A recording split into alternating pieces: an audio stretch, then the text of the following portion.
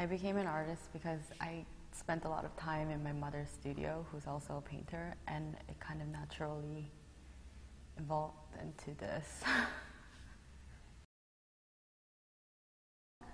I like creating experiences where the viewers really get to kind of experience the whole piece, and I think installation is the best way to sort of bring that forth.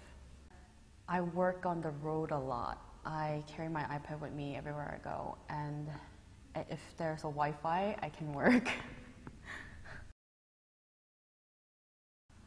I, I constantly go back to this um, text by Theresa Hak Kyung Cha.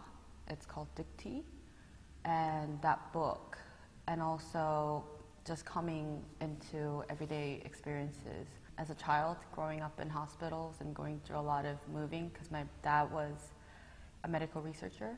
And ever since then, I had this continuous interest in all these public spaces, and that's kind of where I got the inspiration for this work for Catlin.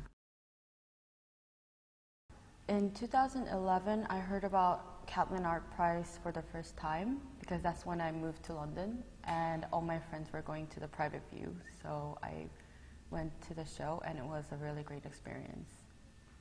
I think just having the opportunity to actually get this big project space is really good for installation artists like me because I can actually get so much people involved in the viewing and um, see all the interaction happening.